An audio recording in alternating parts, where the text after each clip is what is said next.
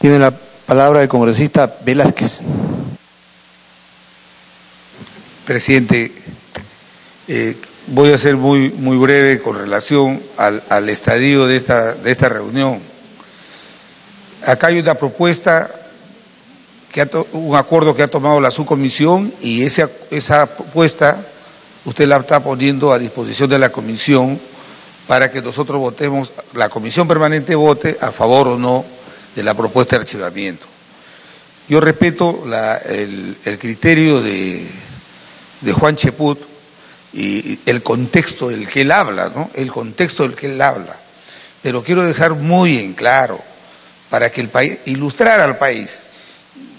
Mañana va a ser lo mismo, presidente, que hoy día tengamos cinco, ocho horas de debate, porque mañana ya sabremos quiénes queremos eh, tener un fiscal a la medida de nuestros intereses y quienes están muriendo de miedo y quienes no. Y aquí es lo siguiente, mi posición en la subcomisión ha sido defender la institucionalidad. Y aquellos que hablan en defensa de la institucionalidad no lo están haciendo al momento de fundamentar el por qué están en contra de este informe, que el país sepa. Hay una denuncia hecha por infracción a la Constitución.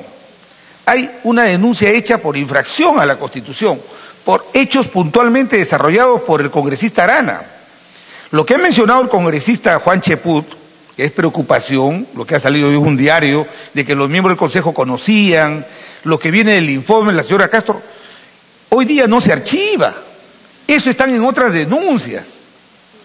Pero si nosotros hubiéramos acumulado las denuncias, ya me imagino que estuvieran diciendo que nosotros estamos blindando, que no nos queremos pronunciar. Que sepa el país que el contexto que hoy día se pone de la persona que es denunciada y cuyo archivamiento se es solamente por infracción a la Constitución. Ni siquiera se le ha imputado delitos. ¿Y eso qué supone? La primera conclusión, que el informe de la fiscal del Callao está en una denuncia que está en trámite.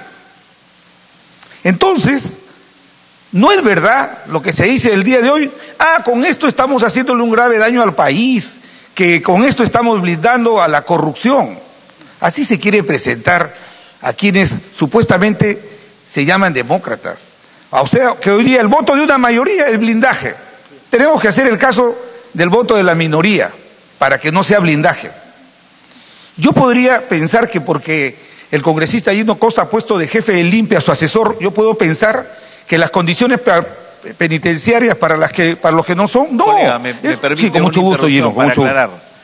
Presidente, adelante, eh, tiene la interrupción. Le, le pido que, que, retire lo dicho porque yo no soy el ministro de Justicia. Yo no, yo no he nombrado, yo no he nombrado respeto, a ningún, respeto, yo no he nombrado a ningún funcionario ni puedo presidente. nombrar a ningún funcionario en el Ministerio de Justicia.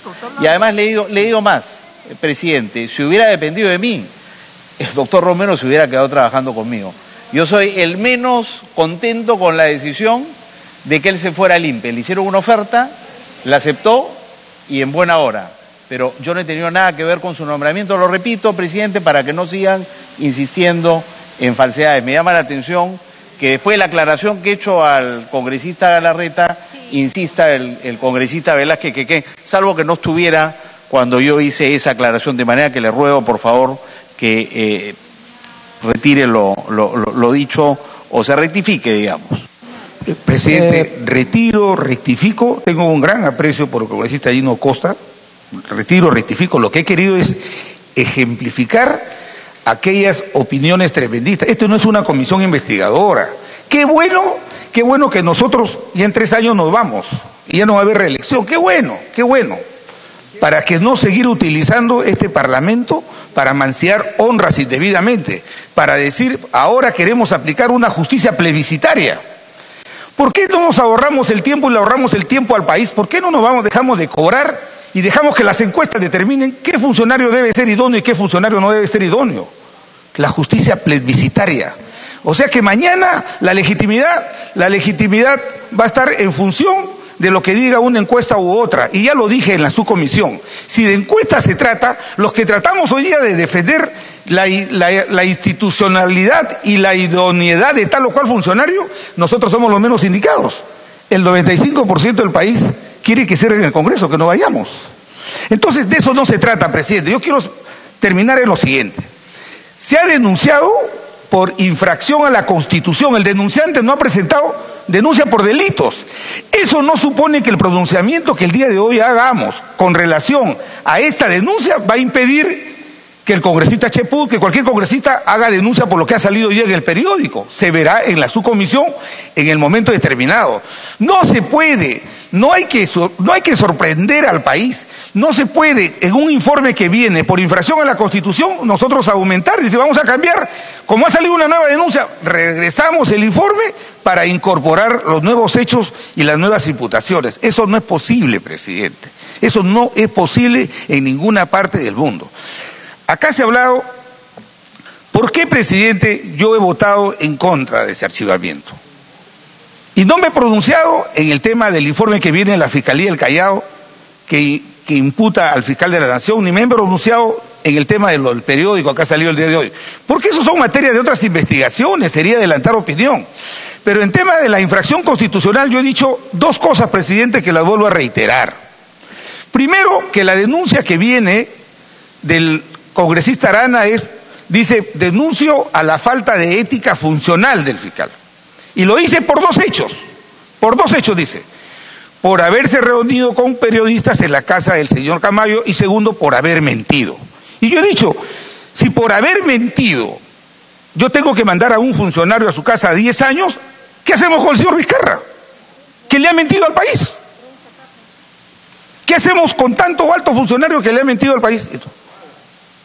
También podría ser, también, también, también podría ser, pero le digo lo siguiente, presidente, el Tribunal Constitucional, y yo digo, encuentro contradicciones en el informe, el presidente, el informe,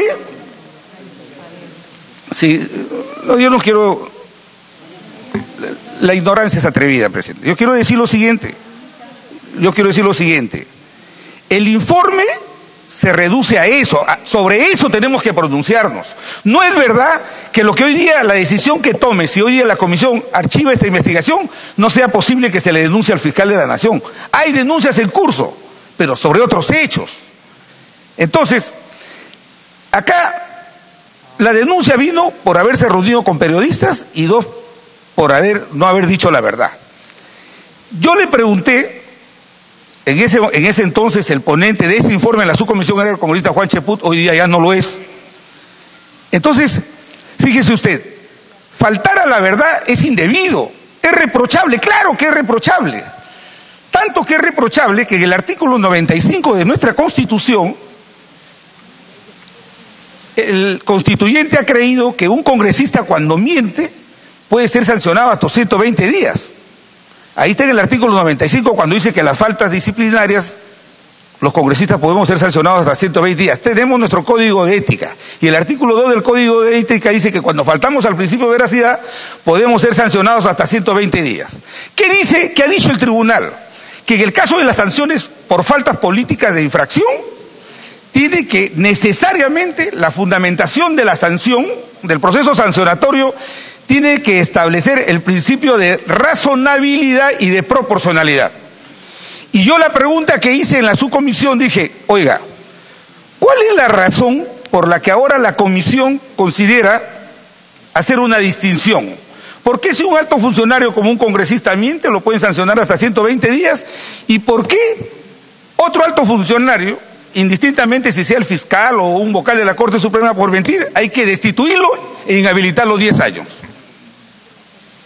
Entonces, esos criterios tienen que ser tomados en cuenta, nos guste o no nos guste, tienen que ser tomados en cuenta al momento de procesar un tema sancionatorio. Así como para algunos, y especialmente para el gobierno. Fíjate, todo el gobierno está activamente queriendo echarse al fiscal. Y no es porque se levantaron pensando en luchar contra la corrupción, sino que están asustados y ahora nos quieren echar la culpa a nosotros que estamos asustados. Están asustados por el informe Lavallato. Y con eso, y con eso quieren arrasar con una institución que hay que garantizar su autonomía, que quieren arrasar, presidente, porque así como para algunos, para algunos, es prioridad el tema político, yo creo que para nosotros tiene que ser prioridad garantizar a los peruanos, especialmente a los más vulnerables, es que haya un ministerio público que haga su función en el marco de la Constitución, tratando a todos los peruanos por igual. Entonces, y lo decimos con la autoridad de que a nosotros nos han investigado también el fiscal Pablo Sánchez, y nosotros no denostamos de él porque es un buen fiscal. Entonces, Acá de lo que se trata, presidente, es querer aplicar una justicia a Ah, las encuestas dicen, lo que dice la calle, está desprestigiado. ¿Y dónde está el honor de las personas? ¿Y dónde está la reputación? De repente para algunos no es importante, pero esta decisión que toma el Parlamento vincula al poder. Ya no solamente vincula al Poder Judicial porque no es un antejuicio político, sino es un juicio político. Hoy día vamos a sancionar o no a un alto funcionario, destituirlo. Y eso siempre será un baldón, no solamente para él, sino para su familia, para eso. Por eso, presidente, sí, en la página 30 recuerdo claramente, la conclusión del informe decía que en efecto que la conducta de, en el caso de las infracciones, nada más infracciones, yo no me he referido a, los otros temas porque no están en el proceso, se ha dicho de que es una, el faltar a la verdad es una falta ética y que afecta a la ley de, de la función ética del servicio público, entonces estamos confundiendo falta ética con falta política. Y además, porque en el artículo 158, cuando se habla de la autonomía del Ministerio Público, el fiscal de la Nación, mejor dicho, los hechos que sustentan este informe fueron desarrollados en el momento en que el señor no era todavía fiscal de la Nación. No era el fiscal de la Nación. Entonces, se va a decir se va a decir, se, ha dicho también, oh, los audios con el señor Inostroza, eso se va a ver en las próximas denuncias. Porque yo también podría decir que el señor Kuczynski, oye, como el presidente de la República se ha reunido con un investigado por corrupción. Entonces, presidente, yo creo, invoco que actuemos con firmeza, con serenidad y en función del informe. Y yo, y yo voté en ese momento porque se trata de infracciones constitucionales. Los hechos que hoy día se describen Inclusive el hecho que ha mencionado la respetable congresista Montenegro, ese informe está en otra denuncia que la vamos a ver. Se va a ver. La decisión de día no inmuniza a nadie. Por eso, presidente, quería decir que cuáles son las razones por las que nosotros, en este caso, consideramos que no están debidamente acreditadas las infracciones constitucionales. Leí en ese momento la conceptualización y el informe que había hecho el ilustre constitucionalista Domingo García Belaunde todos coinciden que hoy día la infracción a la Constitución tiene una fisonomía. Uno no la puede estirar como un chicle y decir, sí, pero yo la voy a estirar porque creo políticamente que el contexto, que los medios, que las encuestas, son respetables los medios, las encuestas, pero no son elementos para imponerle una sanción a una persona. Por eso, presidente, yo me ratifico en que Lamentablemente, lamentablemente, no es por, no quiero cuestionar la incapacidad de quien ha hecho el informe, sino que no hay conexión entre los hechos que se han denunciado y las propuestas de infracción. No hay conexión y al no haber conexión tenemos que ser responsables en decir las cosas como son. Gracias, presidente. Tiene la palabra el congresista Sheput. Presidente, una vez más he escuchado al congresista Velázquez que es igual que en la subcomisión de acusaciones constitucionales, hablando de cualquier cosa menos del informe. Yo no he sustentado el informe. Yo no lo he sustentado. Yo he aportado, obviamente, un, elemento llamado contextualización, porque obviamente considero de que tiene que ser importante para, un, para, para una, una entidad de reflexión como es la comisión permanente. Si nos vamos a ceñir a lo que plantea el informe, pues claramente está de que tiene que ver con la reunión con los medios de comunicación en casa del señor Antonio Camayo Valverde, la negación pública de esa reunión por parte del señor fiscal de la Nación Pedro Gonzalo Chavarri y las coordinaciones irregulares entre el señor Pedro Chavarri Vallejos y el señor Inostroza Pariachi. Ya que me ha permitido traer este tema a colación, que no lo pensaba hacer, ¿eh? pero ya que lo ha mencionado el, congresista eh, Velázquez Quezquén, pues Pasaré a señalar, señor, señor presidente, el, congresista Müller creo que quiere una interrupción. Adelante, congresista Müller. Mire usted esa contradicción. Comienza su intervención diciendo que el congresista Velázquez habló de cualquier cosa menos del tema y ahora quiere refutarle algo de lo que ha dicho el congresista Velázquez. Pero entonces, si habló de cualquier cosa, ¿por qué lo quiere refutar? Bueno, continúe, por favor. Una vez más, la retórica del congresista Mulder, ¿no? Jugando con las palabras. Acá, señor presidente, el asunto de fondo es que sobre los asuntos de fondo no han dicho absolutamente nada. Ni el congresista Mulder ni el congresista Velázquez que Nada de nada. Ahorita has hablado. Bueno, señor presidente, entonces, si nosotros, para retomar la calma, señor presidente, el congresista Müller creo que quiere otra interrupción. Yo no tengo ningún inconveniente, señor presidente. ¿ah? Para mí. Segunda interrupción, congresista Müller. Eh, yo solamente le pido al señor este, Sheput que se tranquilice, que esté calmado. Él puede hacer la defensa que quiera hacer, presidente, y la va a hacer como cuando defendía al señor Toledo después de los 20 millones de Coteva, lo va a hacer. No tiene problema por eso, pero que lo haga con calma. Continúe con la lista de Cheput. Gracias, señor presidente. Una vez más los argumentos del principal defensor del señor presidente Alan García y de todo su entorno. Pero yo no voy a pisar el palito, señor presidente, porque calmado estoy. Lo que estoy es indignado. Indignado porque creo yo de que en estos momentos no estamos tomando con conciencia lo que significa esta acusación constitucional. Como bien se ha señalado, hay otras acusaciones constitucionales en marcha. Pero acá, esta acusación del congresista Arana tiene que ver con una negación sistemática ante toda la nación de parte del señor Chávarri. Él decía de que no había existido ningún tipo de, de reunión y luego Después de que es capturado el señor Antonio Camayo en una entrevista en el diario El Comercio, ahí sí reconoce la reunión. ¿Eso no, es, no constituye acaso una infracción constitucional? Sí la constituye. ¿Por qué? Porque dentro de la Constitución, y tal como dice las propias sentencias del Tribunal Constitucional del 2006, en, que en el caso Luz Salgado, la pérdida de confianza en el funcionario, la pérdida de confianza en el funcionario tiene que ver claramente con lo que significa una infracción constitucional. Ahorita podríamos entrar de nuevo a debatir punto por punto del debate, pero eso no es el sentido, señor presidente. Acá el sentido tiene que ver con que el fiscal Chavarri niega, miente, con lo cual pierde transparencia, pierde ante la opinión pública credibilidad y eso le hace daño a la propia institución. Por otro lado, él también niega eh, una reunión, el señor Chavarri, hace negaciones de conocer al señor Inostroza. Él dice que no es su amigo, que lo iba a denunciar por atreverse a, a, involucrarlo en acciones en las cuales él no tiene nada que ver y luego en la subcomisión de acusaciones constitucionales dice que sí lo conoce. Podríamos abundar en más detalles, señor eh, presidente, pero creo yo que acá lo que tenemos que hacer es ver si este informe o esta conclusión de la subcomisión de acusaciones constitucionales es rechazada o no. Yo considero de que tendría que ser rechazada para que vuelva a la subcomisión o buscar un instrumento para que esto pueda pasar al Pleno, pero de ninguna manera eh, debe aceptarse esa conclusión. Gracias. Tiene la palabra el congresista Meléndez.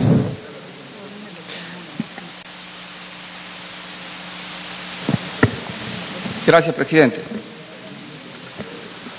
Para nadie es un secreto, presidente, que el partido aprista ha manejado durante años el sistema de justicia en el Perú. Es por eso, señor presidente. Presidente, no le voy a aceptar que, haga ese tipo de imputaciones antiapristas. Que el señor retire, que el señor retire su palabra. el señor Velázquez que, retire y el señor. es un momento. El congresista... el señor Alan García le ha condecorado a, ver, un, juez corrupto como el señor Inostroza. Congresista Meléndez. Estos son mentiras. A ver. Ya, por favor. Por favor, congresista Moller. Este, mire, está pidiendo que retire. ¿Qué palabra, señor ¿Qué palabra Es decir que el APRA maneja el, Poder Judicial. Retíralo. Lo retiro, señor presidente, ah, pero no lo retiro de mi pensamiento. Ok. Continúe, continúe, congresista Meléndez. presidente. El señor Velázquez ha dicho una mentira. Bueno, si tú te crees el único ilustre congresista, entonces quédate solo en el Congreso. No el único, pero sí superior a ti de todas maneras. Bueno, será superior por la edad, congresista. A ver, hay que evitar aludirse, por favor. ¿eh? El congresista Velázquez dijo que queremos un fiscal a nuestra medida. La verdad, presidente, es que el- los que tienen un fiscal a su medida son ellos. Por eso es que el señor Chávarri ha cometido una interferencia en una investigación sobre la línea del metro que involucra al señor García. Este tipo de actitudes, presidente, no se pueden permitir. Imagínate tú, presidente, un señor fiscal que también está involucrado, según la fiscal del Callao, está involucrado en una organización criminal, ¿qué tipo de investigación le va a hacer al señor Inostroza? A ver, por favor, ¿De qué está hablando? ¿Está invoco al orden, la tranquilidad, por Estoy- favor. Sí, continúe, congresista Vela- Meléndez. Estoy hablando, estoy hablando de su comportamiento, el fiscal de la nación, señor congresista. Eso es lo que estoy hablando. Diríjase, Ahorita por me voy a favor, a, del informe. a la mesa, por favor. De repente no ha leído el congresista qué infracción ha cometido. A ver, por favor, vayamos al tema que nos tiene el día de hoy. El tema del informe de la subcomisión. En eso estamos, presidente. Estoy haciendo una introducción. Porque acá solo los abogados se creen dueños de la verdad. O sea, los que tenemos otra prof- profesión estamos por gusto en este Congreso. Entonces que hagan una ley que solamente los abogados pueden ser congresistas. Acá hay todo tipo de especialidades, presidente. Una interrupción, congresista Vela. Muy breve, presidente, sin faltarle el respeto al colega congresista. Pero cuando él dice una inexactitud, no voy a decir mentira porque no quiero ofender. Cuando ante la televisión un congresista dice cosas que no son ciertas, cuando dice que el fiscal Chavarri ha interferido una denuncia sobre el no sé qué cosa, eso lo investigan los fiscales provinciales. Y hemos visto que hay fiscales que inclusive tienen tanta autonomía que se van a México a decir que lo que hicieron los terroristas acá fue una guerra civil con los peruanos. Se han ido a México, están hablando los abogados.